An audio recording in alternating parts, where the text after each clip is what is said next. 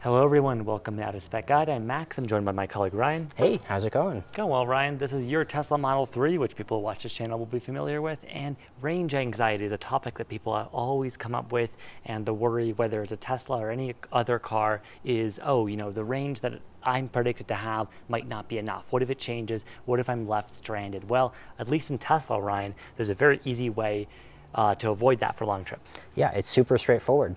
Yeah, so basically it's the Tesla trip planner. In this video, Ryan and I are gonna show you how the trip planner works and what it is. To give a summary, basically, this is just like maps built into the car. But crucially, because you're telling the car where you're going, it's going to give you an accurate estimate of where the battery will be, will be at when you arrive at a destination. This updates in real time on the fly, based off your driving, elevation, all these things are considered. So the system is honestly very smart.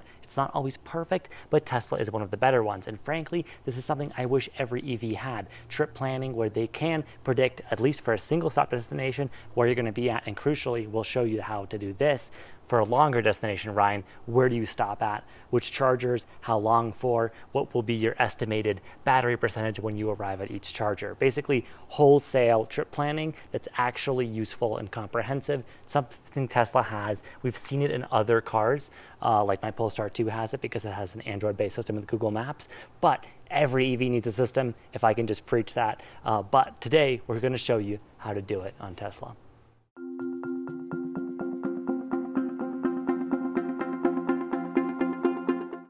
I can't say this enough. Trip planning is so important in EVs. I wish every EV had one, but if you have a Tesla, then you have trip planning built in. And if you're remotely worried about range or making it on longer trips, you really need to consider using it. None of this, you know, my phone's on the vent or mounted somewhere and I'm using maps on it, sure, if you like using Waze, if you like using those features, you can use your phone. But when you're using the car's built-in navigation, the car knows so much about what it needs for charging, preconditioning the battery.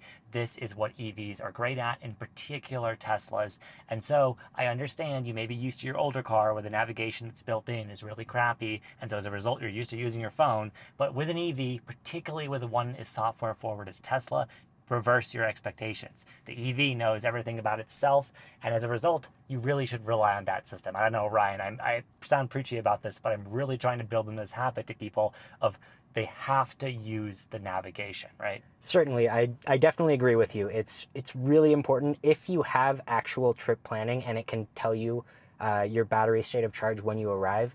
It's really great to have that going all the time. Uh, it's just make sure that you'll be safe and uh, it's just the best way to go about doing it. Really is, especially on those longer trips. You don't need to use it around town because a car like this, I mean, at 39% battery, it's roughly right 100 miles of range. Maybe that's a little optimistic, but still, we could get around just fine in Boulder and not worry too much. It's really when we are making those longer trips that planning is going to come in crucial. So in Tesla, the navigation menu is this default thing on the right pane. It always lives there. If you're somewhere else like Spotify or, you know, another app, you can always just, you know, unselect that and go back to it, right? It lives here, Ryan? That's correct, yes. And then, you know, you've got this useful map, you can pan and zoom around, and we're gonna imagine a hypothetical long road trip scenario. So we're in Boulder, Colorado right now. Let's say we wanna go to like, I don't know, I've wanted to go to Sedona in Arizona. That would be really neat. Uh, maybe you want to shop for some crystals. So let's make sure we put in the right destination, make sure you have the right state, but sometimes I put uh, the wrong one by mistake. But yeah, the town of Sedona in Arizona. Let's go there. It's going to calculate a route. And the really cool thing here is it not only is going to get us there, it's going to tell us which superchargers, in the case of this Tesla, right, are we're going to stop at uh, to get there. And because it's Tesla and it's all integrated, uh, it's going to, you know, predict how long we'll actually take at each one. So you know, we can see the turn-by-turn directions. We can see all the stops it made. Uh, we can zoom around and preview the route ahead of time.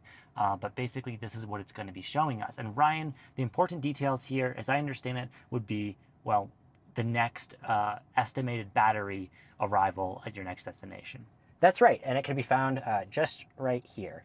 And that is a dynamic number, so when you put in a destination, it'll tell you a percentage that it thinks it'll arrive at but it won't necessarily just stay at that. For example, if you're driving really, really fast and aggressively, that, that number might drop because you're using more energy than expected. On the other hand, if you're very conservative with your accelerations, you could arrive with more state of charge, and it will update in real time, so you'll have a very good picture of what's going on. Yes, it'll update in real time, but it keeps the navigation in mind. So if you're going up hills, unlike a system that guesses based only off instantaneous driving, it won't freak out because it knows you're going to make up for it, hopefully downhill with regenerative braking, things like that in an electric car. So basically, this always knows ahead of time what's happening, which helps it be more uh, more precise. And you're right, Ryan, it may change, but typically, uh, you know, I think it doesn't change that much, assuming nothing out of the ordinary happens. It's very, very much better than just relying on, like, let's say, this estimation, which is totally just, it's not even a guess, it's literally just uh, an extrapolation of a rated EPA range. And EPA range is, you know, what it is. It is a test, but real life is not a test. We have all kinds of different conditions. So this is much more applicable to the real world. May not be spot on, but it's honestly the best guess you're going to get. That's right. And importantly, that number does take into account, like you mentioned, elevation, but also uh, temperature, wind, uh, all, all the types of weather conditions, uh, everything that you could imagine. It's pretty uh, sophisticated in how it predicts uh, your state of charge. And generally speaking, it tends to be pretty accurate. Yes, and because this is a multi-stop route, it knows, right, our next stop is the supercharger. As a result, let's say it's very hot or uh, very cold, the battery needs to condition itself to be at an optimal temperature for charging. The car takes care of that automatically, and that always takes a little bit of extra battery energy, but the car is going to let you know that. It's letting you know that with that factored in as well. The fact that, okay, let's say for instance, it's really hot today, and I need to run the compressor extra hard to cool the battery down, it's taking that into account here. That's right, exactly before we leave this navigation screen, you got to know that, right, your turn by turn directions are here. And as you scroll down, it's going to show you basically the summary view of all the stops. So, right, our next supercharger stop is Conifer. If we leave right now, it's predicting, right, that 17% battery arrival. We'll get there at 3.32 p.m. and it'll be a 15 minute charge to get us to our next stop, which will be a supercharger in Poncha Springs, I guess, at 5:49 p.m. with 16% battery. So it's really like laid out our whole trip right in front of us. And I can't emphasize this enough. This is live. These predictions will change as you go over the course of your trip. super useful. I like this sounds intuitive, but if you're not using this, you really need to be because it removes so much stress if we want to add another stop, Ryan, let's say, okay, yeah, that's great. I want to get there and it adds these supercharger stops. I want to also, while I'm there, stop somewhere in Golden on the way or something. How do I do that? So what you're going to do is go on this bottom screen and pull up and you can just go ahead and click the add stop button. Great. So let's say I want to add a stop. Uh, well, I mentioned somewhere in Golden. So let's just say we're stopping at, uh, what's the university in Golden? Uh, is School of Mines in Golden? Yeah, I think so. Let's say uh, I got a friend who's a student there, Colorado School of Mines, uh, or Mines Park. Let's just say that. It's a hypothetical. But it's going to add that in, and then, of course, It'll update everything else accordingly. It takes a little bit of time to calculate, but you can see we're going to get to mines right now. We're at a pretty low state of charge at 30%. That still gets us to the supercharger decently. Uh, and of course, it's going to add to our trip time. So all of this is factored in here. And then we can also go into edit trip, and that'll let us like reorder our destinations um, as we add them in here. So that's just Tesla navigation, super useful. But Ryan, that's not the only picture of energy you can get. I understand there's kind of more of a summary view you can get of how you're consuming energy. Absolutely. It's a ton of really great data and it's a lot of really interesting stuff. And it gives you a great breakdown of exactly how you're using your energy. And that is the Energy app, which is this thing. It kind of looks like a stock ticker icon on your iPhone or something. It's a graph. It is the energy graph. So we hit this. And by the way, if you want to make it go away, hit it again. You'll go back to the map. But we want to be in here now. It's the energy tab. So useful okay, we got a graph here. What's going on? So this is a graph of your projected state of charge over the course of the planned route. So it's about, uh, it says 38.2 miles to get to uh, Mines Park. Uh, and this is the state of charge that uh, they predict to see. So down here, it looks like a pretty steep slope. So I'd expect that to be uphill, whereas right here, it's pretty flat. So I'd expect that to be uh, more downhill. Additionally, over here, we've got a bunch of information. So on the left side is the actual number of how much energy was used. For example, for driving, for keeping the climate control, battery conditioning, all that stuff. And then uh, once you do the drive, it will have a lot more information and it'll tell you whether or not it was accurate, whether it overestimated or underestimated. And you'll see that on the right side right here. Yep. So basically, it's the uh, projection of it here. So driving, let's say we switch this instead of a mile view to what I'd argue is more useful, a percent view, 39%. It's going to tell us on our trip how much percentage of the car's battery that has gone to driving, right? To climate, to battery conditioning, and all of that. And then it's going to show the deviation here as a plus or minus whatever percent. Exactly.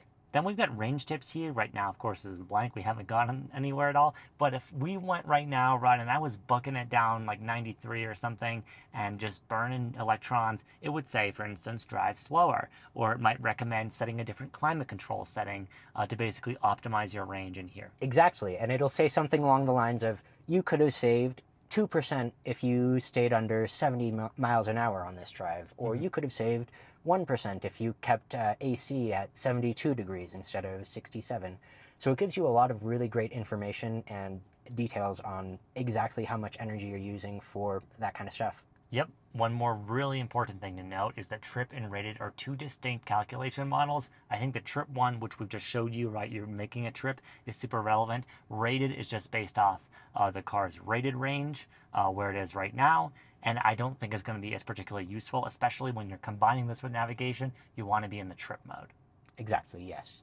And then you've got park as well. This will basically just tell you the uh, static features in a Tesla, like Sentry mode, using the screen, uh, which of those are consuming your energy right now.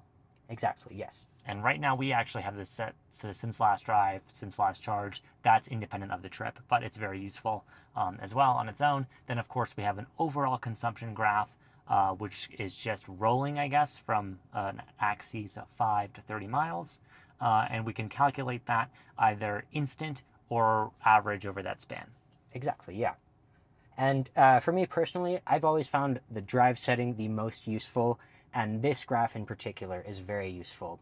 If you're above it, that means that you're using less energy than predicted. It'll show up as green, and that means you're probably going to arrive with more, more energy than predicted.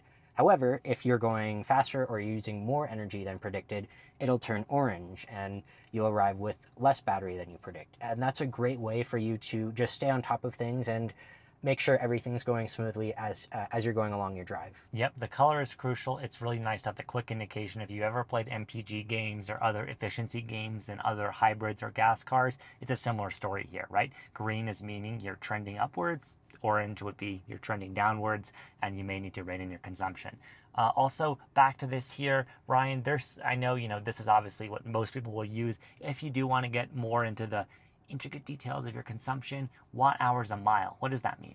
Uh, it's how much energy is used to travel one mile distance. And a lot of cars actually use a slightly different calculation. They do mi uh, uh miles per kilowatt hour. So uh, it's a slightly different calculation, but it's the same type of idea. It's just how efficient are you? Yep, gets across the same thing. And in this case of watt hours a mile, uh, you want lower watt hours a mile. That would mean higher efficiency. In the case of miles a kilowatt hour, you want that number to be higher. So there are different ways of expressing the same thing. If all that's confusing, but you do want to know more about those units, do check out a video I've done on Out of Spec Guide about units of efficiency in electric cars. But hopefully this has been a good summary of what to expect with a Tesla trip planner and using the energy graph in your Tesla. It's really in my opinion, one of the biggest benefits to owning a Tesla, and I'm sure Ryan, you would agree. Absolutely. I've I've been on several road trips and I've I've used the route planner pretty extensively.